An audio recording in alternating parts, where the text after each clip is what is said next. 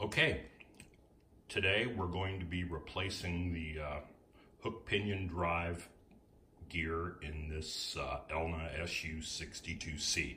This is the Star Series machine, but basically the SP, the TSP, the hook drive stuff should all be the same.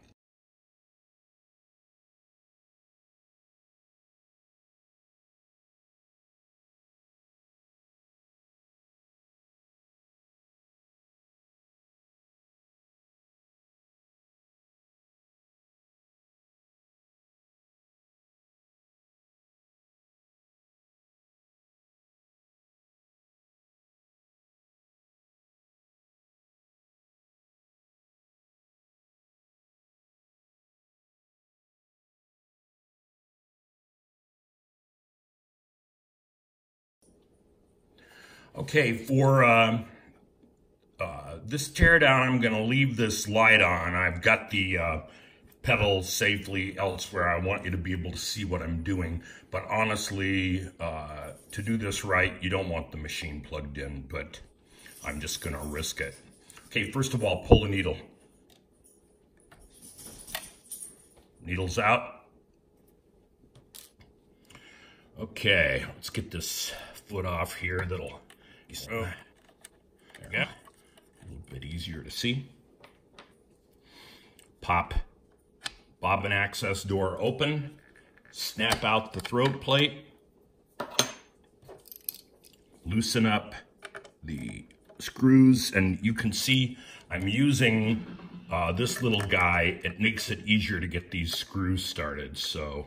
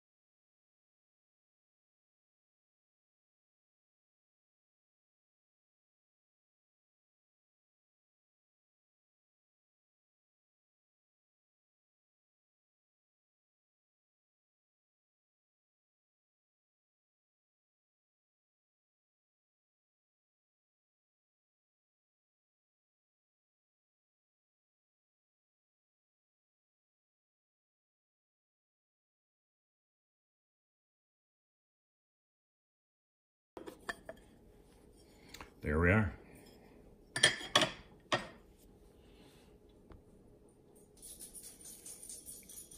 Okay, next we're gonna pull the feed dogs out of the way and I'm going to use this little thin, it's, its profile is small, it's just a little slot head and I'm gonna reach in here and loosen the feed dogs using my offset wrench.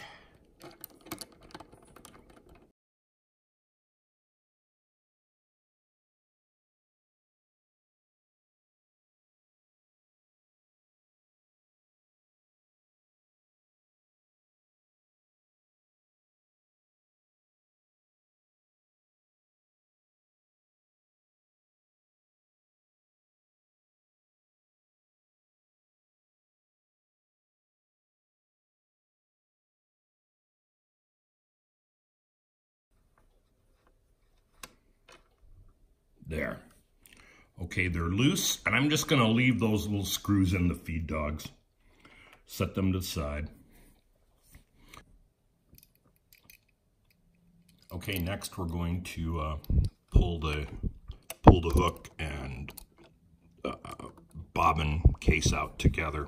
We just break it loose with my little offset, and I'm using a smaller it's kind of it's kind of hard to get in there, but I'm using a smaller uh, bit, just a slot head bit to get in there, and then we'll reach down and gingerly unscrew it.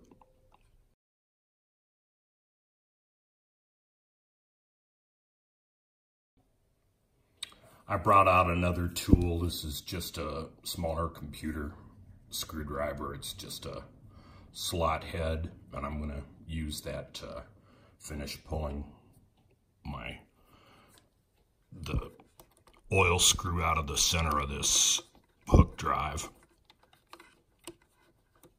Okay, it's loose.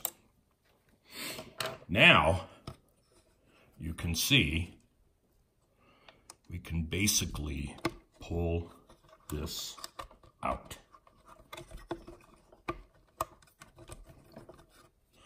And you have to, see this little escapement? You got to pull that out of the way in order to get it out. And out she comes. This is our, this is our hook. And this is the hook worm, excuse me. This is the hook uh, worm drive that uh, engages down below. We're gonna get to this gear in a minute. Uh, and then this cam surface is a nylon cam that drives the uh, escapement fingers for the thread. All right, I'm gonna take a second and talk about this. Um, this is the hook drive post. It comes up from the bottom of the machine. This plate, this uh, attachment plate, has to be removed in order to uh, get down to the uh, get down to the busted gear. The thing of it is, is that this plate is adjustable. And uh, the reason for it is, is that the uh, you want to make sure that you're not, if you notice, these are the little cam followers. There's a little follower. Let's see, you can't. Ah, you can just barely see it. There's a little cam follower that rides on the bottom of that nylon cam that I showed you before. In any case, uh, if this plate is put back on and it's not perfectly centered on that post, then the, the uh, escapement fingers are going to want to drive too hard left to right. So what you want to do is you want to get this thing perfectly centered over the uh, uh, over this post. There is a tool for it in the uh, uh Elna service documentation. I don't have it but I got a pretty good idea. I can, I can put a little, I can put a little, uh, and I might even have a better one. I'll look for a metric one, but uh, it sh you should be able to uh, uh, get this thing nicely centered over this post when we put it all back together. Okay, so we're going to remove this screw and this screw next. Okay, I had to find the uh, the right Phillips bit for this. They're uh, it was they're a little bigger than what I've been working with. So anyway.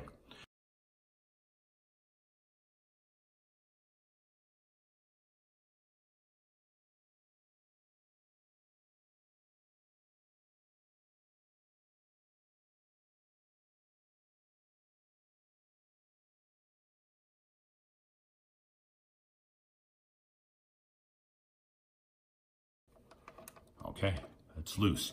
Now, out she comes. And as you can see,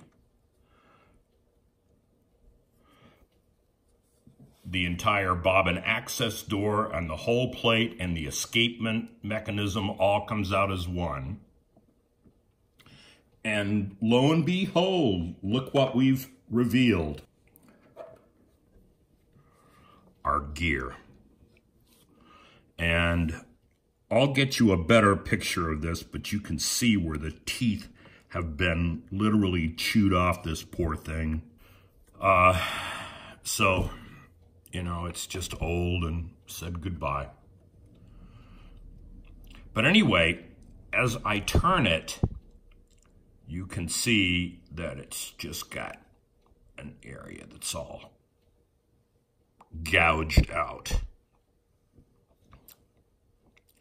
Now, there is a very important point that I'm going to uh, talk about next, but I have to get my little magic marker and uh, we'll continue. Okay, I'm going to stop for a minute. Uh, there's something on this gear that I want to show you, but I first of all want to explain uh, a little bit about how these things work. There are two, there are two cogs in this machine. There is a drive belt that drives off of the uh, flywheel here. Uh, the the drive belt actually drives the uh, uh the needle bar up here uh, through the clutch on the side. And then down here on the bottom is a little access plate. I'm going to show it to you. This little access plate is how you get to the to the hook drive shaft. The hook drive shaft is what you were seeing down here. Get that a bit closer. The hook drive shaft is what you are seeing driving our hook drive pinion and the shaft, and it also drives the feed dogs. I'm not going to go over there right now, but the feed dog runs off uh, the same shaft. Okay, now, here's the thing. The timing of this machine is, of course, out because the hook is disengaged entirely from this gear because it's all stripped out. However, since that belt is totally linked up with this bottom shaft drive and the top, when I put this machine back together again using a procedure, I'm going to show you how to seat the hook and how to make sure you got it right. Uh, when I put it back in, it's going to be in time. The machine was in time before, and I haven't had any problems with it. So uh, I expect the, uh, uh, I'm, what I need to do is put the new gear on in exactly the same orientation as this old one. But herein lies the problem. Uh, what I'm going to do is I'm going to go to top dead center. Okay, that's top dead center. And right so I'm close to the top of the stroke. Now, what I'm going to do is I'm going to look at this little spring pin. This pin is lining up with the tooth. But let me turn it a half turn over here. This, the pin on the other side, is lining up with a gap in between the teeth. These things are not symmetrical. So, in order for your timing to go back correctly, you have to make sure that this gear, when I remove it from the shaft, it goes back on exactly the same way. And when I get that new gear, one of the sides is going to line up with the tooth, and one of the sides is going to line up with the gap in the teeth. And I need to ensure that I get this set the very same way. And here's how I'm going to do it. This is the side that has the tooth. I'm going to take a Sharpie and I'm going to mark that shaft. It can only go, uh, it can only go on either correctly or 180 degrees out. If I put it back in correctly and uh, get the hook put in right, which is another problem which I'll talk about uh, later on when we get the part. But what I want to do is I want to mark the top of the shaft, and this mark is going to signify that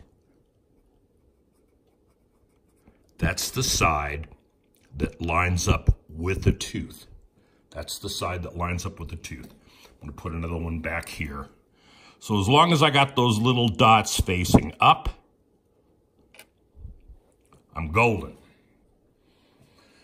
Okay, now this is the part that's probably uh, going to scare people or whatever because you're taking a hammer to your precious machine.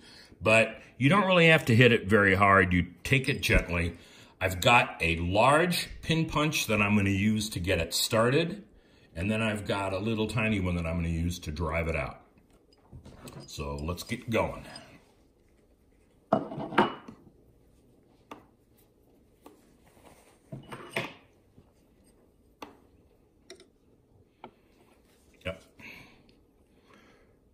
turn it a bit towards me so I can get a good straight shot at it. You can move this thing all you want. Now that I know where it's gonna belong, you can move it around however you want it. Just get it so you can knock it out of there. Tippy tappy, Jet, gentle, tippy tappy. I got it. Nah, needs a bit more.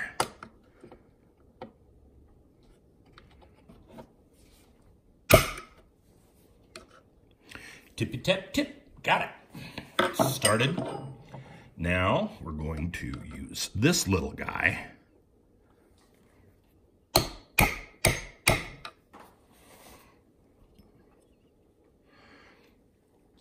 As you can see, it's coming out. And it's going to get to the point where the thing is sticking out too far so you can't turn it anymore, but it's there's enough room down in that corner and just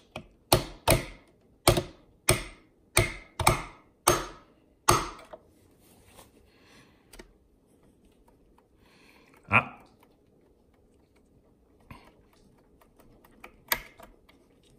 There we go.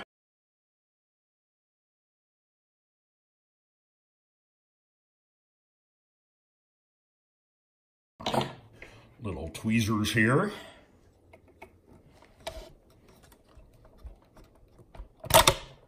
Got it.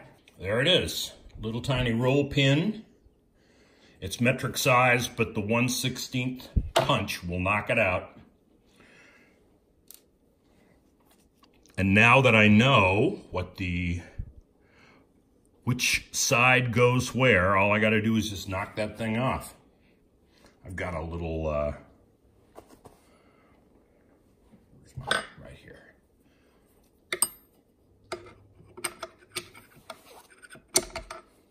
we go.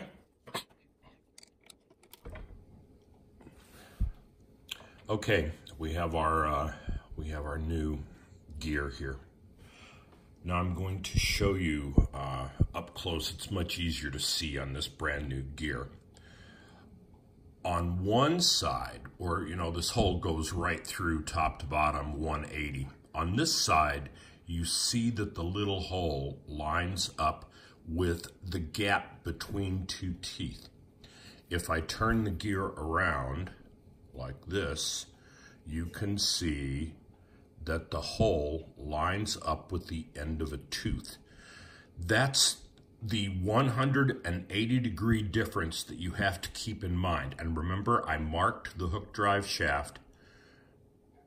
There it is in between, and I marked the hook drive shaft for the side that has the tooth going to the hole.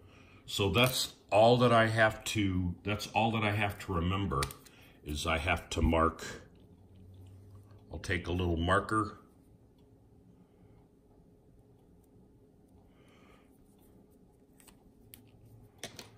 There we go. I got a marker.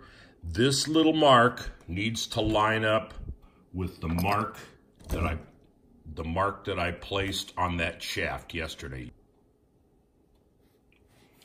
Okay, I've got the thing on. I mentioned uh, earlier that uh, I got out some little tiny Allen wrenches. Uh, uh, this gear is a tight fit. It's hard to get the gear down in here. You like you can see, I marked it. I made a bigger mark on it actually so I could make sure that I had the proper uh, proper lineup as I talked about earlier.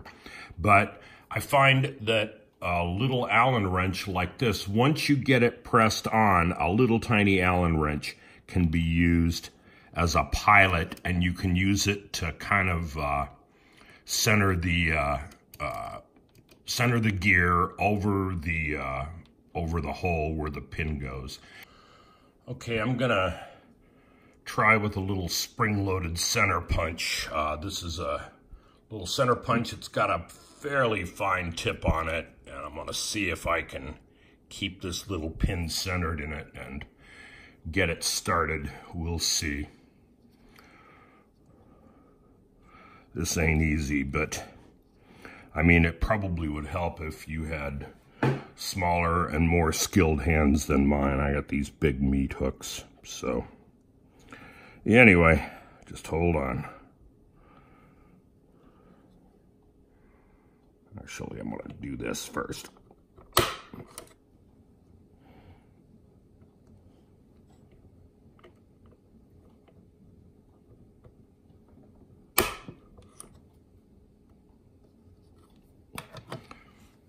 We go. It's on there. It's a little crooked, but the uh, the main thing is I've got it started. Okay. The pin is now going down the uh, down the gallery there in the shaft, and it's uh, it's about to come out the other side.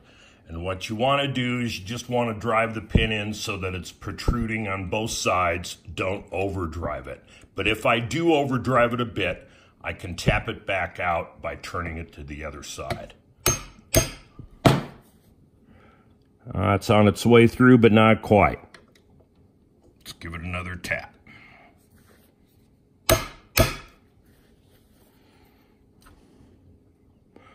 Look at that. Okay, we got a little handheld uh, camera here. I've greased that uh, pinion. I don't really know, by the way, I'm just using whatever grease I got, but I want some grease on that gear.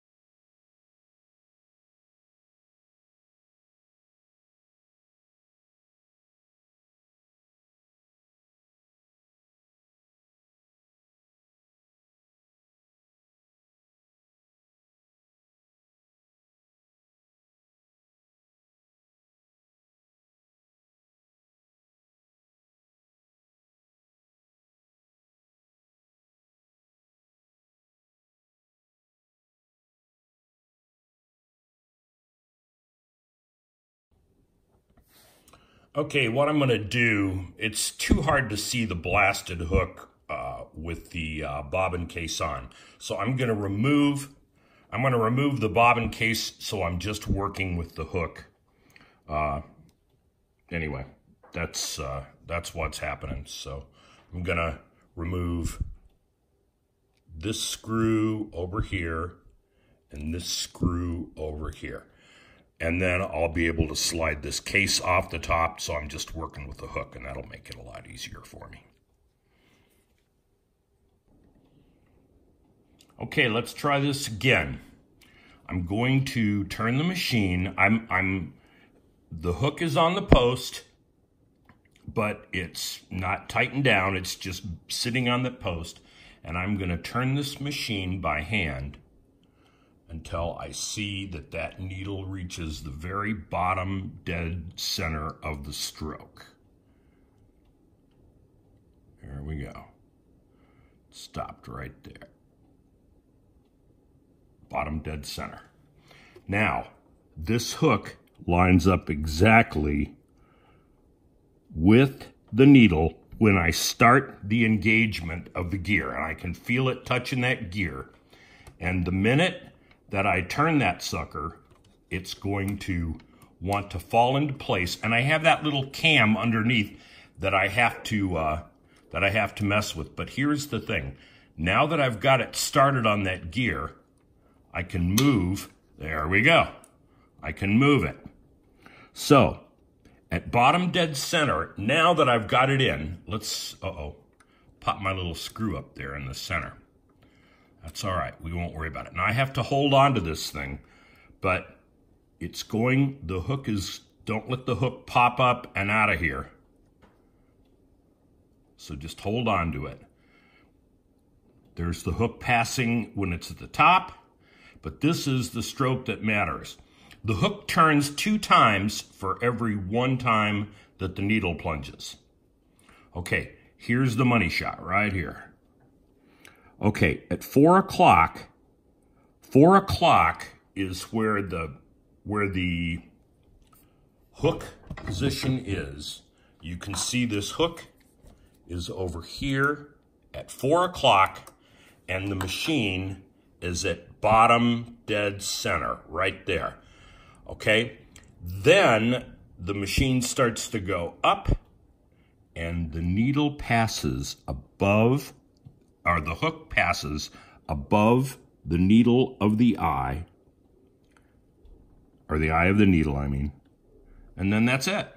Okay, so this thing should be in time, and now I can see that I've got, uh, I have my, uh, uh, the timing is set, the gear's centered, the cams are work, the escapement cams are working, so I got everything right. So now I'm gonna go ahead and and button it down, and I'll put the uh, I'll put the uh, bobbin case back on and everything. So.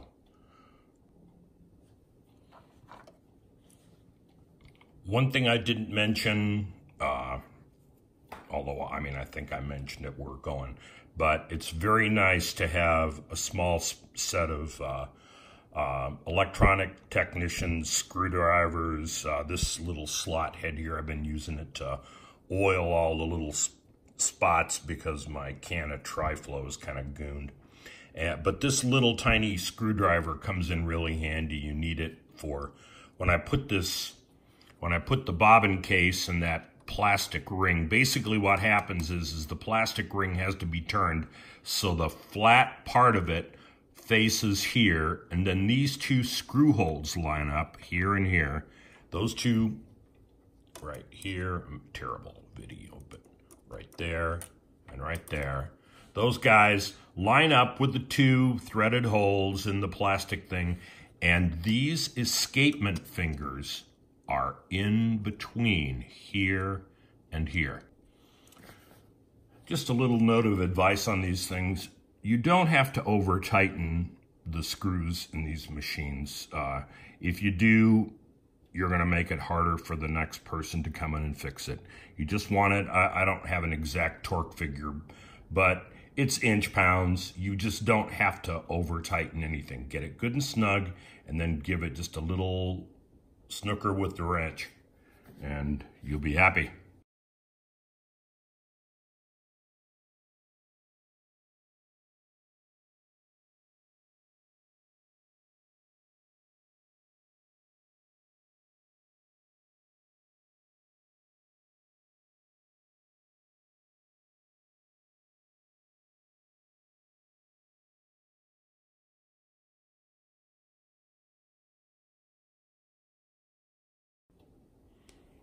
Okay.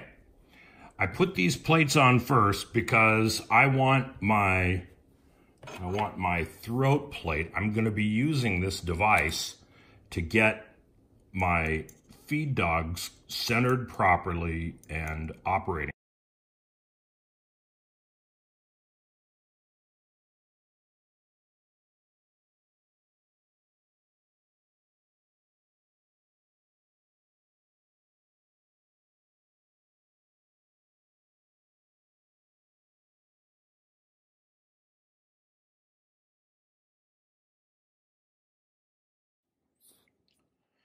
Okay, now we're going to test it out. I've got thread in the machine and uh, got a bobbin in there, a couple of different colors, and I'm just going to run it. So this is just a straight stitch. I got my, uh, I had my tension, I had turned the tension all the way down and I forgot to turn it back up. So I've got it on five right now. Let's see how it looks.